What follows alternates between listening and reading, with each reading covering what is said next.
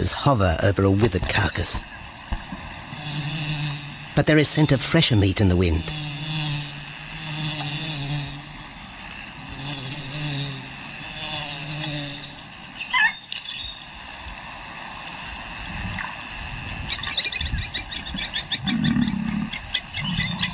Pickings have been slim for Nabamba's pride since her fight with a startled warthog. The lioness is limping from the encounter. And even the pride's big male, Jabu, wonders when his next meal will come.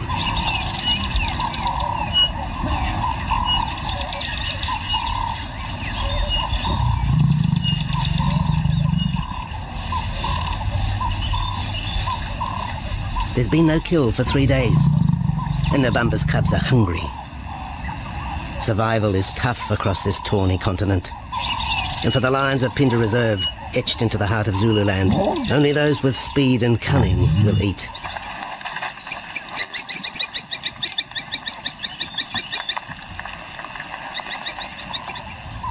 For this pride anyway, it's been a long time between meals.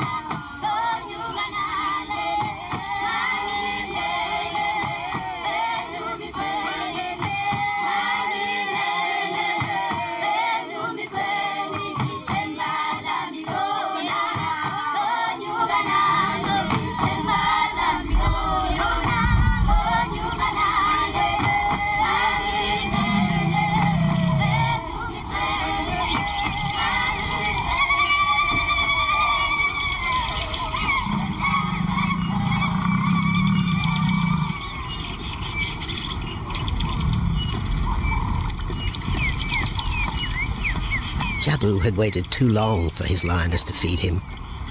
Overnight, his stealth carried him into the path of a careless zebra. The rest of the herd is still skittish. One animal had already lost his tail to a hungry pride, but for the dazed stallion, it was all over in seconds.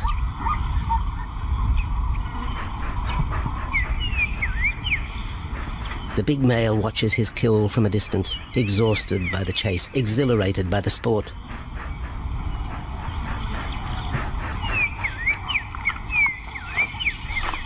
Jabu will feast later. Tired from the hunt, he needs to rest.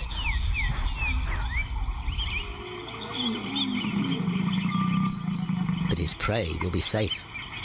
Few scavengers will risk the sudden return of the Lion King.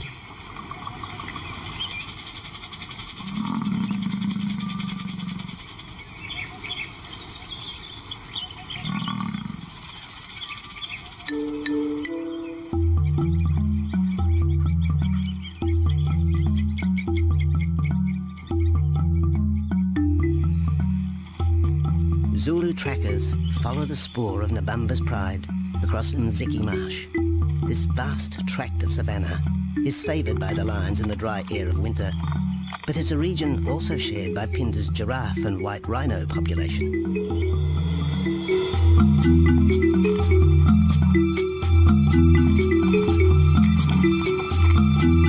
Through modern times, most of southern Africa's wildlife has been ravaged by hunting and habitat loss. Farmland, overgrazed and buffeted by domestic stock, has ripped the heart out of the original bush. The open, broad-leaved woodland, acacia bushveld, and wetland habitat had all but disappeared, taking with it the wildlife.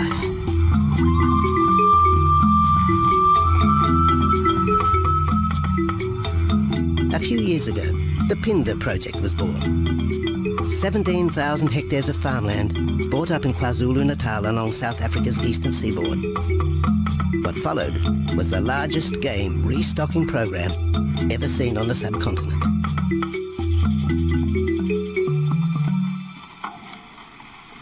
The land was overgrazed to a certain extent and it wasn't in very good shape. They put all these farms together, put a perimeter fence around it, and then brought in a lot of game.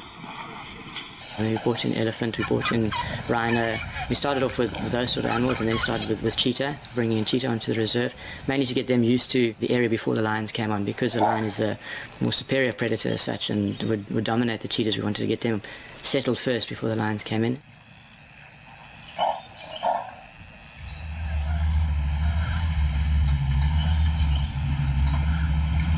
Andrew Lewis is habitat manager at Phinda, one of those committed to the restoration of southern Africa's ecosystem.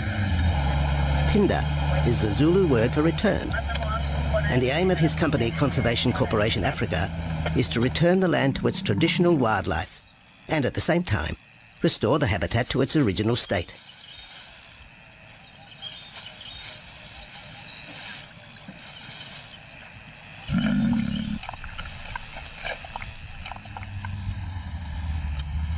Phinda is cautiously open to top-level tourism, limited and luxurious.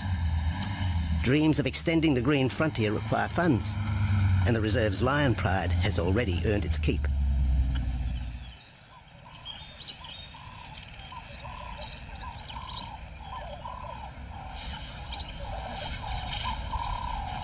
The lions on this property are actually generating revenue for the property through ecotourism and that they are a benefit to the wildlife because of the draw card. There's a few animals, lions, elephants, for example, and, and rhinos, and possibly giraffes, but those are your main ones that people come to see. And we've been very fortunate to be able to have lions on the property, and I think those lions that we, we have have given us amazing value for our guests, and by getting a guest in here, we're getting revenue into the area, and that's benefiting wildlife as a whole.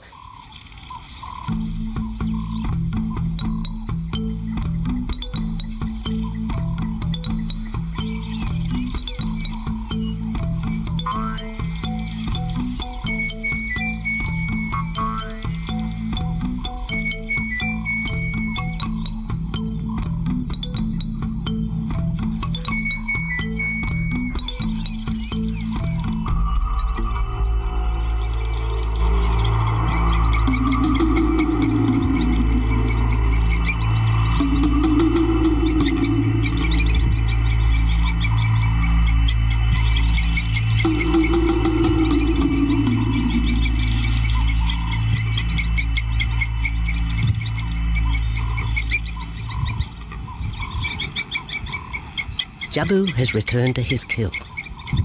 He licks the bloated carcass, but still there is no feeding. Lions will gloat over their prey, delaying the first bite until the meat ripens. For Jabu, the prospect of the meal is to be relished as much as the eventual feast.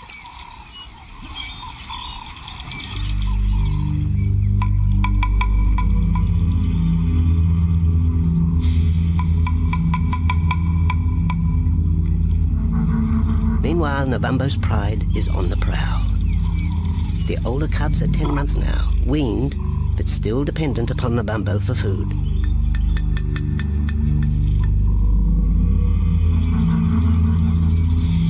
The cubs are learning to stalk, but they won't kill for another six months. Young male lions are usually ejected from the pride when they are about two years old. Fending for themselves, they form hunting groups with other isolated males. Nabambo's cubs aren't sure what to do with prey so close. But the lioness isn't far behind. Their time for hunting will come. Nabambo's four-year-old daughter also lives with the pride. She is the mother of the group's youngest offspring, seven-week twins Umveli and Damana.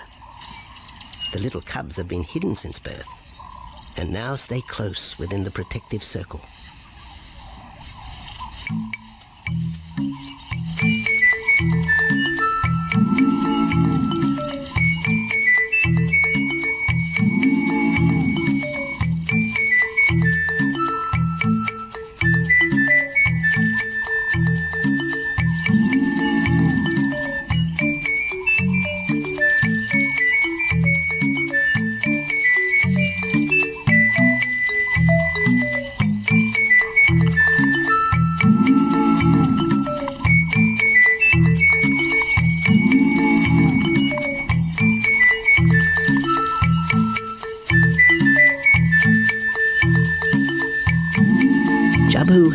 Time for his small cub.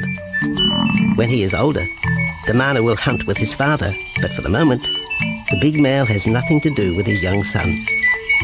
Dejected, the cub finds solace among his siblings.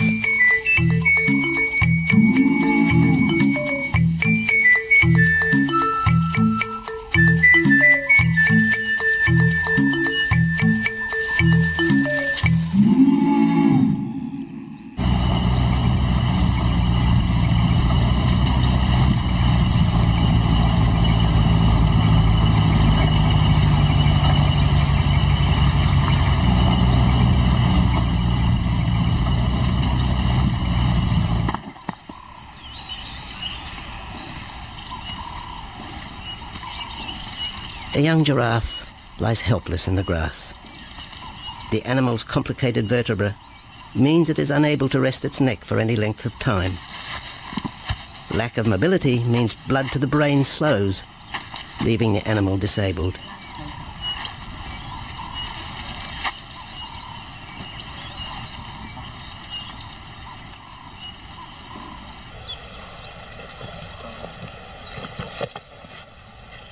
Efforts to lift the head fail. And rather than leave the giraffe vulnerable to predators, the young bull is shot by rangers.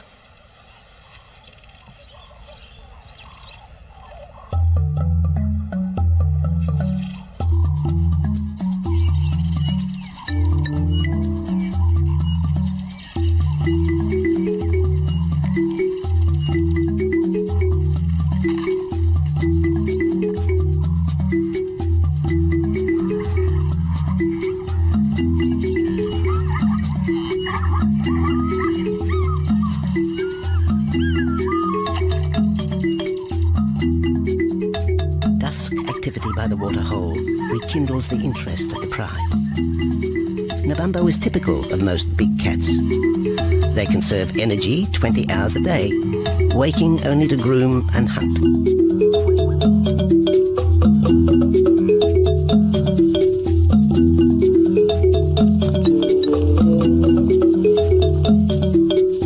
The lioness shows little sign of her injured leg, but the tusks of the warthog have torn sinew and muscle, slowing her in the pursuit of prey.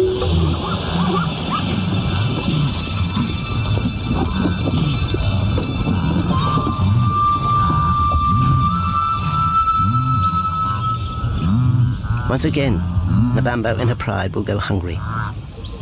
But the big lioness senses another kill nearby. A young giraffe slain by humans will provide meat for her cubs. Leaving the pride, Nabambo follows the scent.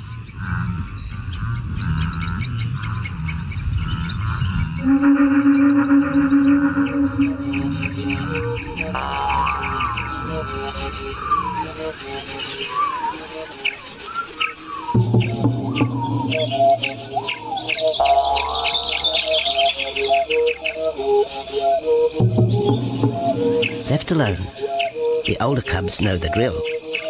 They will wait for Nabambo's call to take them to the kill.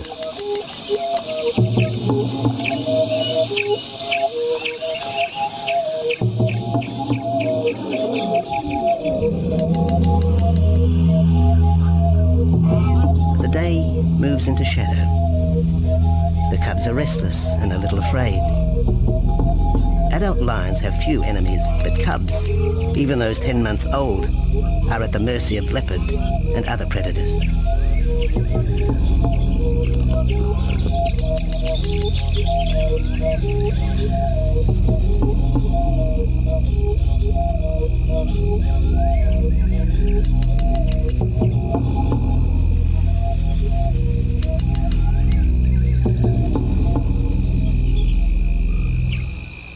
Nabambo has reached the kill, but her daughter is there first. Even though females hunt together, rivalry for the prey is fierce.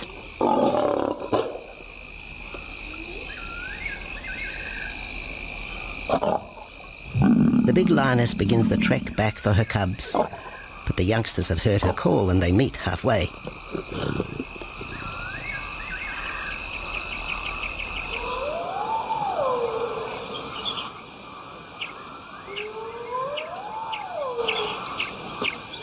Nabambo settles herself in the long grass. The cubs are unfamiliar with her behaviour.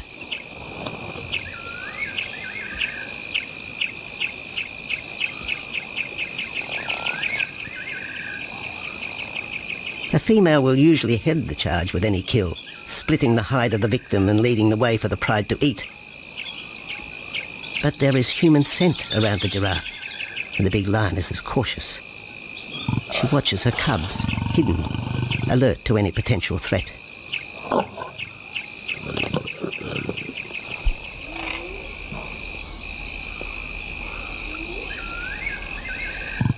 The cubs are curious, confused by this new smell.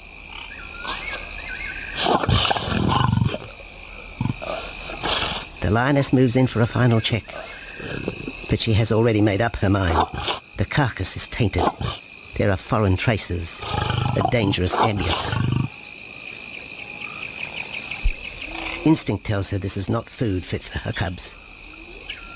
Disappointed, Nabambo moves away the scent of another night stalk already in the wind.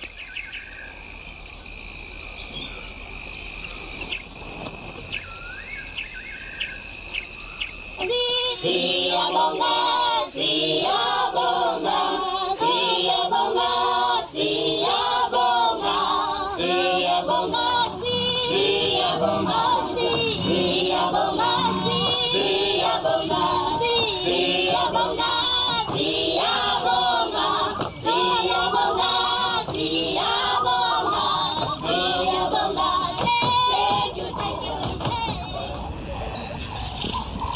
two days, Jabu has returned to his kill with another younger male. Three-year-old Tembi is a son from a previous liaison with Nabambo, and the two paired up after Tembi was ousted from the Pride.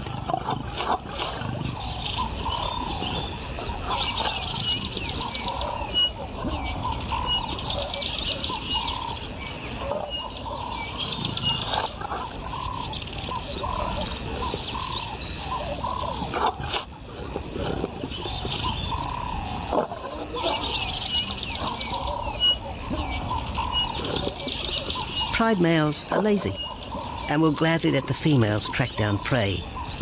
But the theory that males won't hunt is a fallacy. Any hungry male will hunt for himself when no free lunch is provided by the lioness, hyenas or other predators.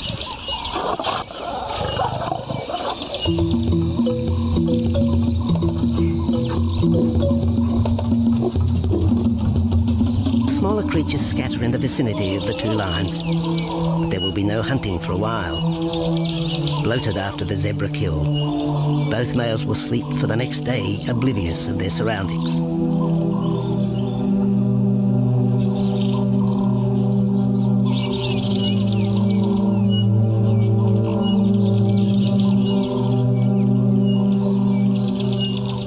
Lions hunting in pairs or groups have a success rate of around 30% in daylight.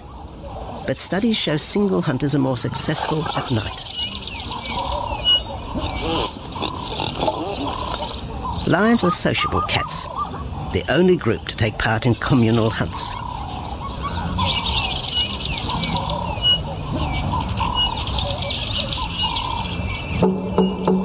Ambush is an important part of the lion's strategy. Often one pride female will round up the prey from the front, driving it towards a second lioness.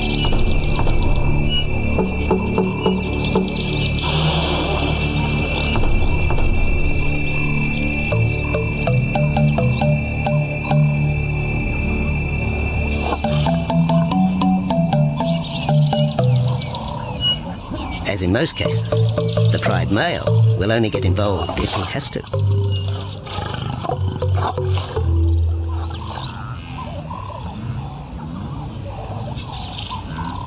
Accidents involving humans are rare in southern Africa's game reserves. Our primal fear of being eaten has been well documented. But in fact, lions seldom attack if they're not provoked. At Phinda, great care is taken to limit the number of people viewing game. Emphasis is placed on causing the animal as little stress as possible.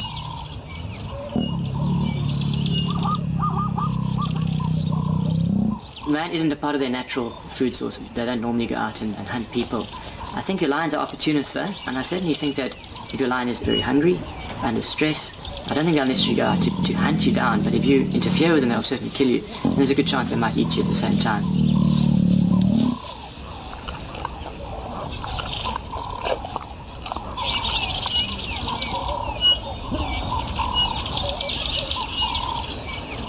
With all animals, it's how you treat them is what's the reaction you're going to get back from them. Certainly at Phinda, all our guides go through a training course and they're all brought up to a certain standard. There is a certain operating ethic with regards to viewing animals and we certainly try and be as sensitive to the animals as possible.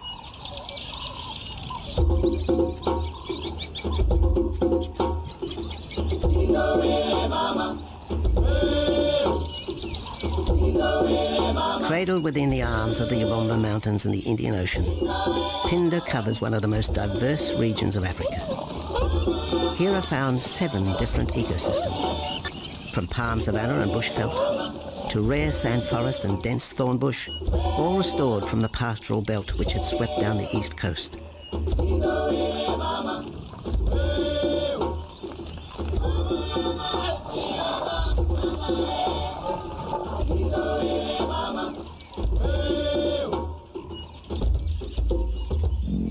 Cotton, pineapple and cattle farms once stood, lion now roam their habitat again, alongside some traditional neighbours.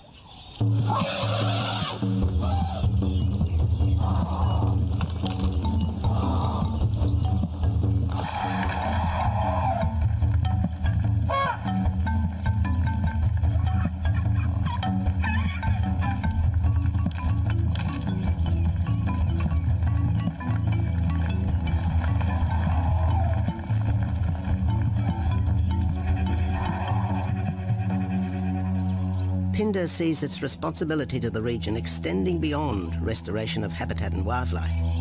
It provides schools and a clinic for the local Zulu community, as well as employment.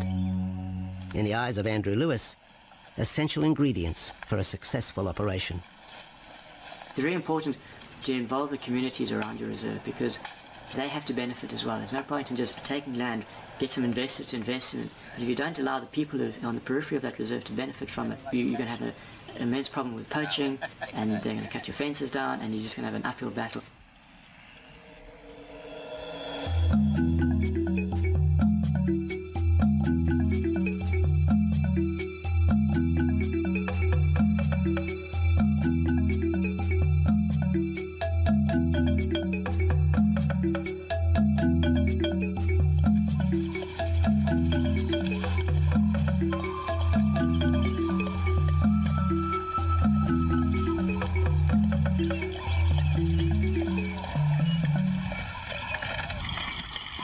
In 1992, the Phinda lions were among the first of the big five animals to be relocated to the reserve.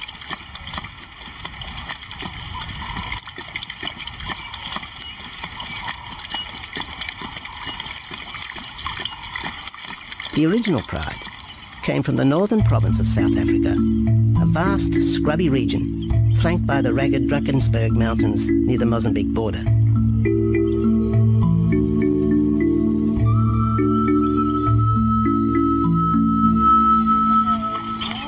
Peter Rogers helped round up Phinda's first pride, handling the lion's capture and subsequent move south. Today, he's head vet at the Hoedspruit Research and Breeding Centre for Endangered Species, overseeing its cheetah breeding program.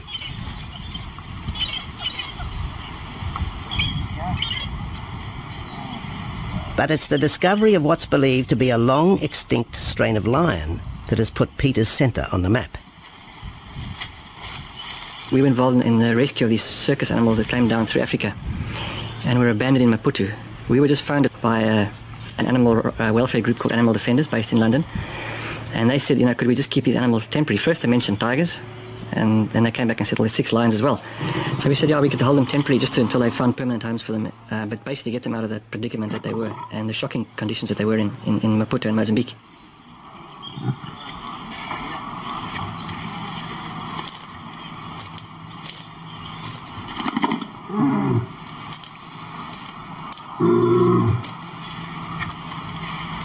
When the lions arrived at the breeding centre, their size, pale colouring, and the male's thick black belly mane put them into the category of the Cape or Barbary lion, not seen in the wild since the early 1920s. A few still exist in captivity, and a male and female were brought to South Africa from an Italian zoo for breeding purposes. But attempts to mate Akef, the big male from the ill-fated Mozambique circus, with the Italian female are proving difficult.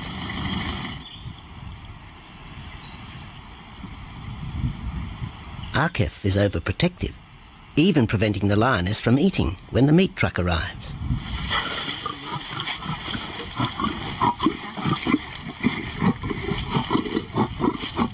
Finally, though, Sissy makes her breakthrough.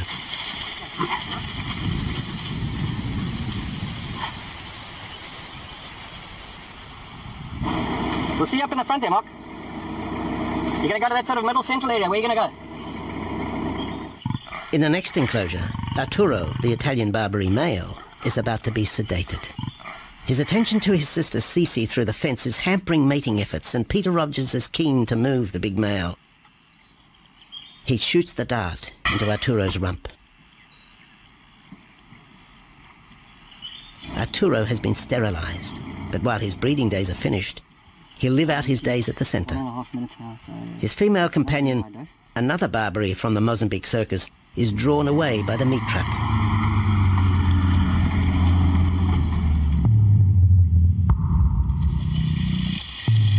It's 20 minutes before the anesthetic takes effect.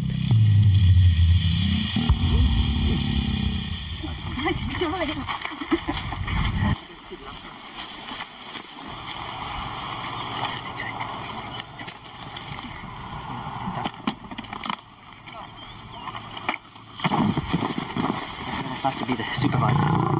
Slowly.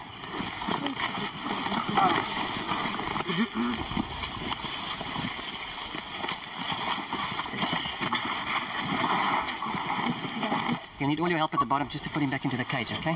One, All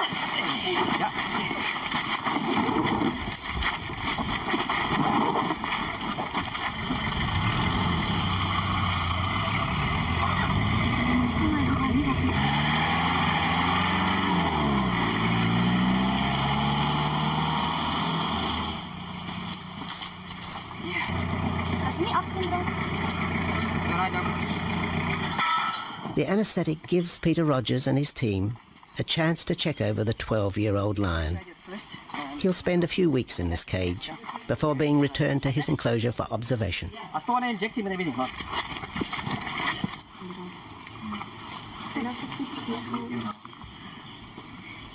It's very exciting to be part of this project um, because they, they feel that there are perhaps not many Barbaries, if any, that are really pure, that are left even in captivity. They feel that over time other animals from other, other genetic bases are brought in. So there's a big project afoot, at Oxford University, to do the genetics. So that's just getting off the ground now. Okay. We just put under the skin and the neck if we can find the skin under this big beard of his. Normally lions wouldn't have this many ticks, but being a from Italy, the European lion, he doesn't have that innate or inherent resistance to ticks. It does come with time.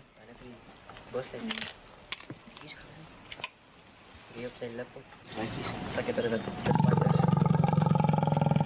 What we can do is we can put him in there and roll him over inside there.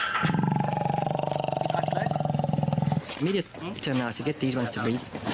And we'll take it day by day from there and, and, and see how it goes. But the, the, the prime object initially was just to get these animals back into good health. And it's developed into something a lot bigger.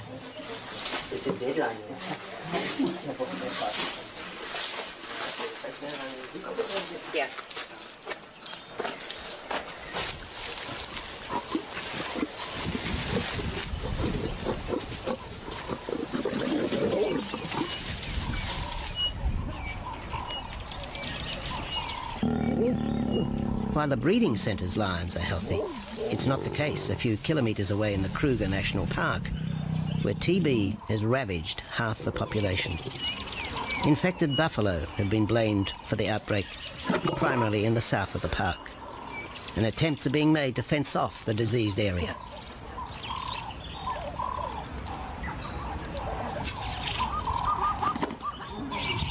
And the lions are preying on infected buffalo. Because it's an exotic disease, not a, an indigenous disease, the lions are totally naive and they've got no resistance to it. So it's, it's a big problem. It's, a, it's a very difficult decision to make as to what to do. It's a very topical and heated subject at the moment. yeah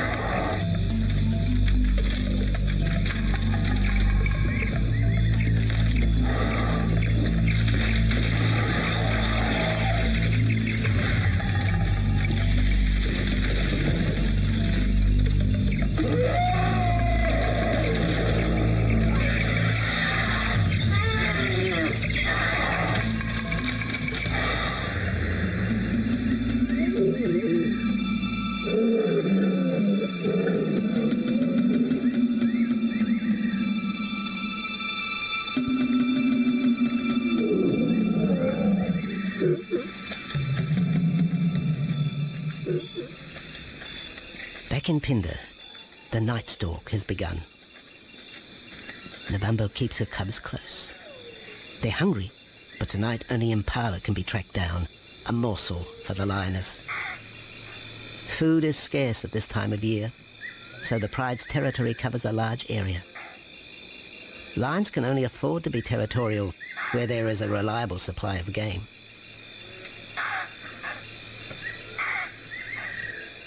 Jabu wants to mate. He's been with his pride for nearly a year now. But Nabambo would prefer a larger group of males around her. Eventually, though, Jabu will have to join forces with other males to have a chance of keeping this pride. The big male is only seven years old and a fine specimen, weighing in at just under 200 kilograms. For the moment, he's secure. Although tonight, Nabambo has hunting on her mind.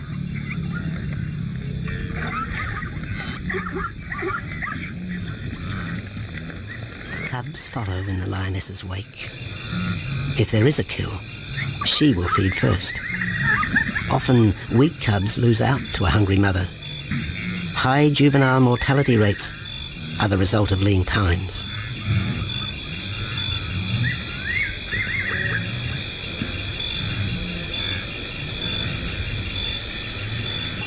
Jabu has had enough. He's been walking for hours. Sleep is more important. And the zebra he ate two days ago will suffice for another night.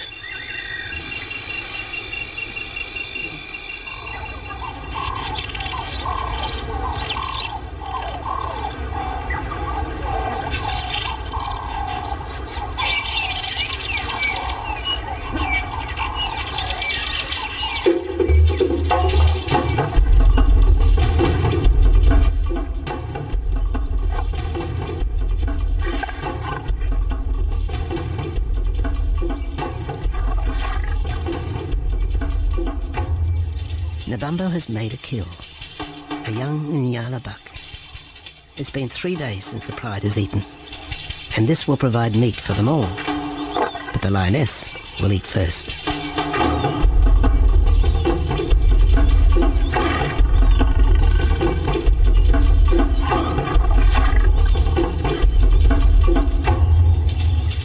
The cubs know the routine. They will get their turn.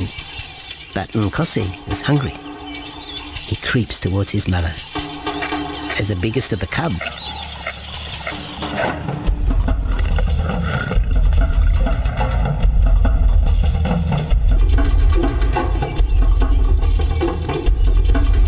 Nkosi watches. A lioness can eat more than 20 kilograms in a single sitting. This could be a long wait for the little cub.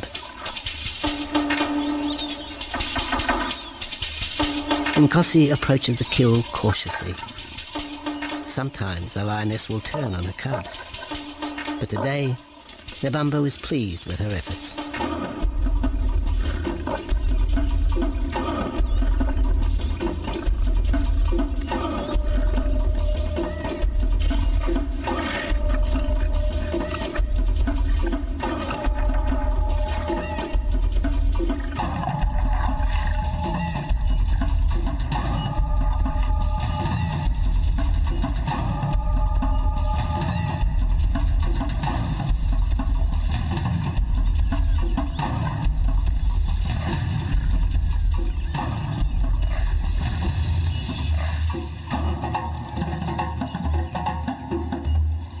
Nabambo has had her fill.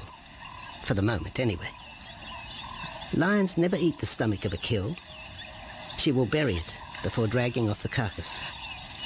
This way, hyenas and other predators are thrown off the scent. The evidence has been buried. The carcass is no more.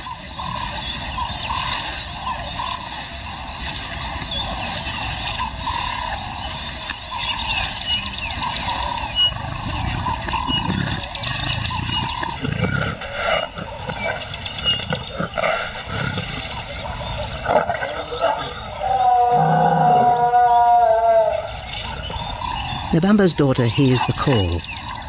It is the second this morning. The first was the strangling cry of the Nyala as Nabambo broke the young buck's back. There was no struggle. The big lioness is a seasoned hunter.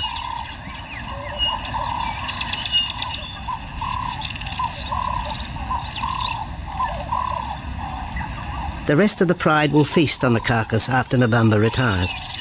But first, they will drag it into the bushes, away from prying eyes, away from the raptors already circling the kill scene.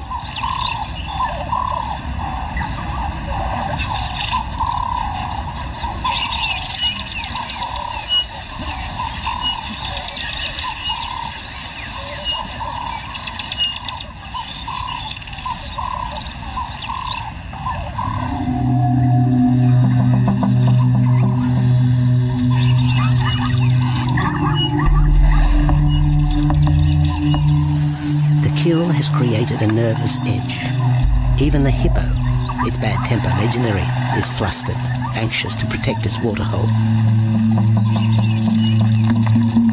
The wildebeest are a favourite prey for lions. Naturally, they feel vulnerable. But for the pride, there is no agitation.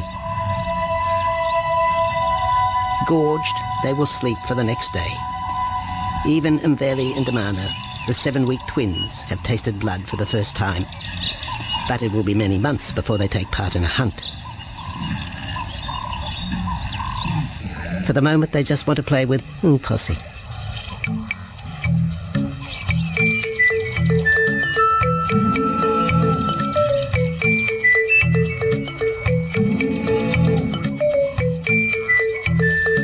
The older cub is beginning to take on the shaggy mane of the bigger males.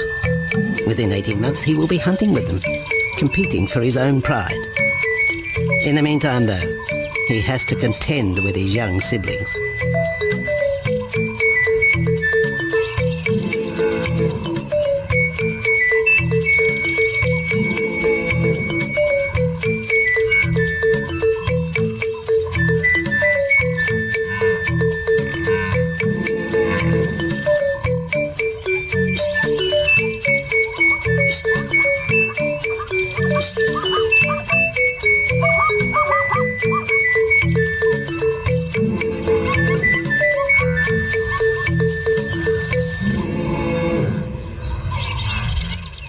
Jabu rejoins the pride.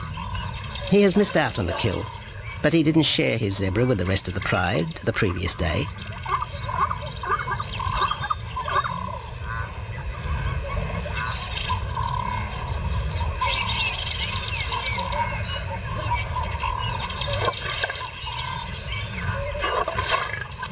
A half-hearted attempt at mating, but the big lion's attention is drawn to a curious onlooker.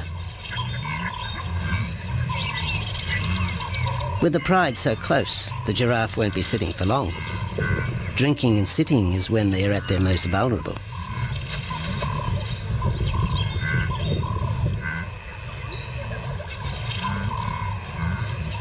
Jabu keeps an eye on his group. Pride takeovers by other males are common, and savage fights can occur between the pride male and the intruder. If a takeover is successful, the new male will usually kill all the suckling young of his former rival.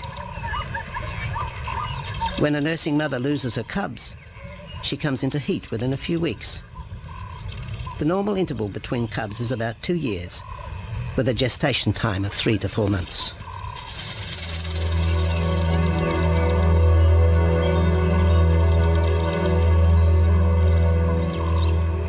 Jabu marks his territory, but it may soon be all in vain. A fresh infusion of lion genes is necessary to avoid the effects of long-term inbreeding. It's likely Jabu and his son Tembi will be swapped for males from another game reserve. This will broaden the bloodlines of future lions and avoid the genetic risks currently facing the pride at Phinda.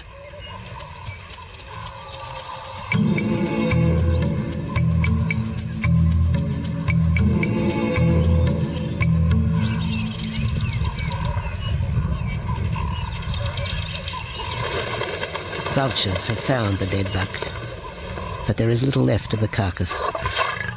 Nabambo and her pride have eaten. The big lioness tries to dislodge Inyala fur from her teeth. Tomorrow, the next day, there will be another kill. Nabambo's cubs will grow up strong.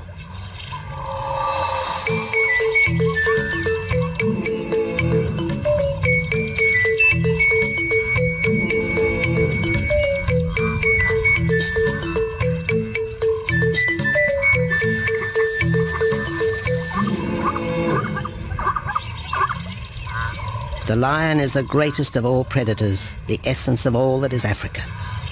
And yet, there are fewer than 50,000 left in the wild.